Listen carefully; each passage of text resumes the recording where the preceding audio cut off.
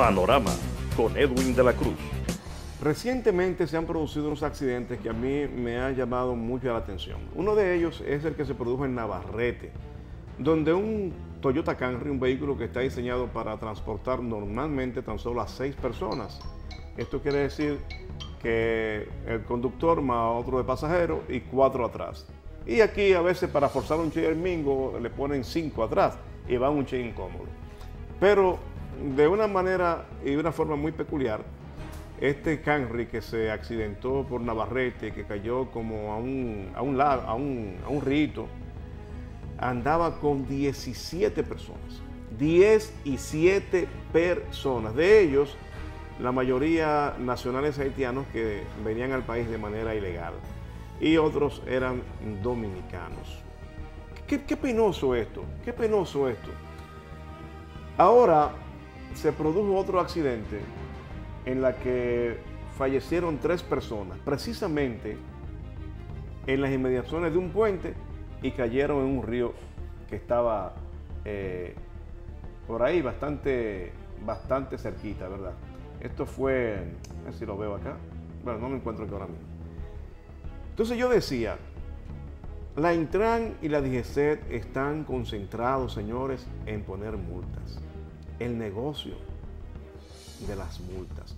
Usted ve a los AMET, a los jovencitos recibiendo macanas por los demás rangos, detrás de encontrar una falta para imponer una multa, independientemente de todo.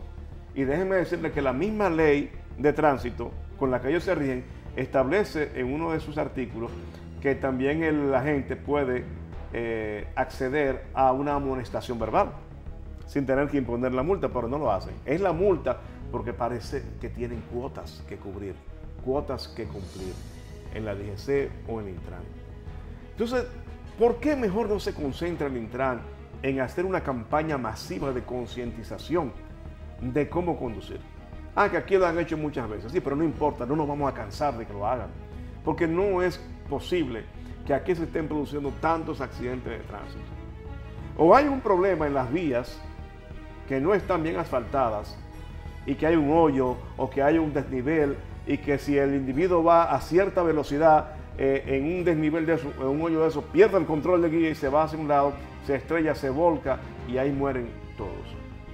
Pero si las calles estuvieran correctamente asfaltadas, con un conductor bien concientizado, va a la velocidad prudente con una calle buena, no hay forma de que se produzcan accidentes. No hay formas. Entonces la República tiene que empezar, señores, este país, a trabajar para disminuir los accidentes. Entonces Intran, entonces SED, hay que concentrarse en concientizar, porque el asunto de caerle atrás a los dominicanos para sacarle los bolsillos, el dinero de su bolsillo por infracciones y otras veces por supuestas infracciones y otras veces por inventos y otras porque se la ingenian y alguien dijo, ah, la placa número tal tiene una multa, como ha pasado en muchos casos. Claro. el caso de, del senador este de La Vega, creo que cuando fue a inscribir su, su, su precandidatura, eh, no pudo hacer porque tenía 15 multas. Entonces él decía, pero es que yo no manejo. ¿Cómo yo tengo 15 multas si yo no manejo? Si yo lo que tengo es un chofer. Eso es en ese nivel. Yo no sé cómo se habrá resuelto eso, pero ese es uno de los tantos y muchos, y la gran mayoría son gente muy humilde, eh, de carrito de concho, gente normales, que le ponen sus multas, Nino. Había uno, había uno que estaba en Estados Unidos, Mm. viviendo allá, y cuando vino aquí te- te- tenía cinco multas. Después yo, yo vivo en Estados Unidos. Claro, No pero manejo hace tiempo y como tengo cinco multas yo. así es mismo. Realmente yo esperaba, yo esperaba más del Claro, Intran. claro que sí. Pero Intran se ha puesto a, a licitar rutas, eh, a convertir a los sindicatos en empresas, eh, en hacer corre- correderos para los riquitos en la Lincoln con bicicletas. Y nosotros, digo, si fuera algo generalizado, porque vayan a hacerlo para Santo Domingo Este, vayan a hacerlo para la Romana, vayan a hacerlo allá en Herrera. No, Sí, en- pues- en el grupo de los riquitos, donde más se nota. Yo pienso que el Intran no está en su mejor momento. Intran no está en su mejor momento y el tema del tránsito en la República y los accidentes van empeorando cada vez más.